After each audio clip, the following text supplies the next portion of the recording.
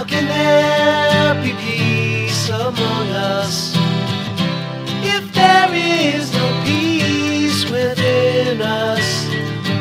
How can there be peace among us if there is no peace within us now? We gotta work on inner peace.